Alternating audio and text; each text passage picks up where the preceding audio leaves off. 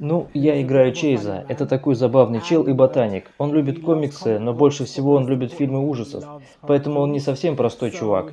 Он везет свою любимую девушку на фестиваль ужасов. Как вы, наверное, заметили, «Ужас гончих». Это огромный легендарный фестиваль в Луизиане. И я всегда имел определенный интерес к Луизиане, культуре и всему остальному. Поэтому у меня даже был учитель по диалекту этого региона.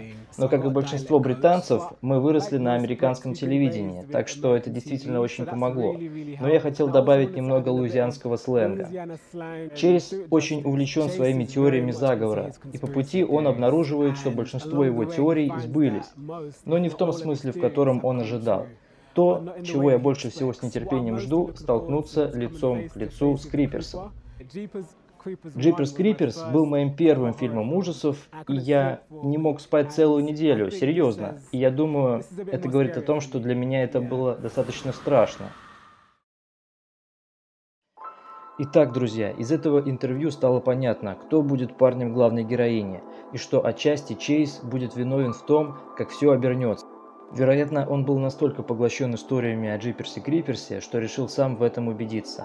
Но пока это только предположение. Дальше будет видно.